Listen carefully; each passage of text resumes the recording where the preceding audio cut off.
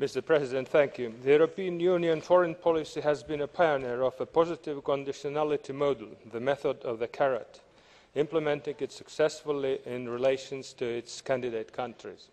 Unfortunately, rewarding process in the field of human rights in developing countries has not always proven to be the most effective measure to encourage them to move forward, as new players have emerged the international arena practising political dumping.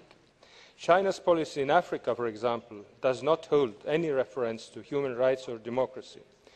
But instead of backing down on the fundamental values of the EU, we should not be afraid of applying the method of the stick when necessary to show that when certain basic requirements are not met, there will also be dire consequences that the third parties are wisely requested to avoid. Thank you, Mr. President.